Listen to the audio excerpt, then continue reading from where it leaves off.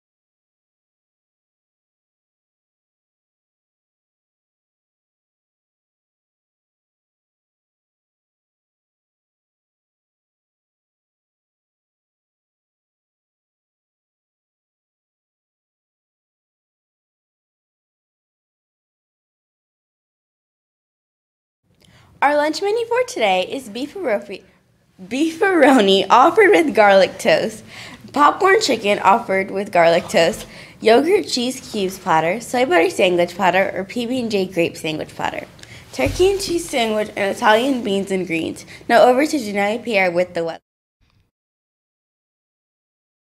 It is currently 73 degrees with a high of 75 degrees, low of 68 degrees with a 20% chance of rain.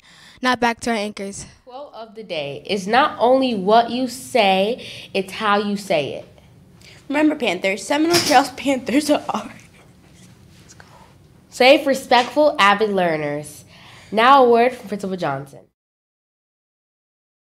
Good morning, Panthers. Here is your morning message from Principal Johnson. We have one very special Panther birthday in the building today. Sarai S. in first grade. Happy birthday. Make sure you come down before the end of the day to pick up your birthday pencil. And we are still asking for donations. So, Panthers, ask your parents if they can donate a new box of gallon size Ziploc bags. These Ziploc bags will be used for your personal reading books. We would like to see each student have two to three books in their book baggies so we can spread the love of reading and you can read anytime, any place you have books right on hand. And of course, we want to make sure that those books that are in our book baggies are just right. We don't want the book to be too easy or too hard. So pick a page to read. And if you can read most of those words and only one word is hard, then it might be too easy. If two words are hard on that page, then it might be the perfect book. If three words are too hard to read on the page, you can still give it a try. But if four words are too hard for you to read on the page of that book, you might want to read it with a buddy. If five words on that page are too hard for you to read, it may be too hard to read right now, and you may need to have a buddy read it to you. Either way, make sure that you are picking out just right books. And we have a special kindergarten shout out to make today.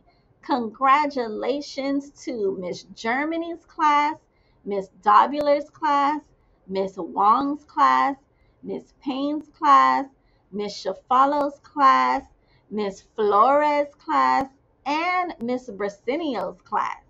I heard that all of our kindergartners were following expectations in the cafeteria.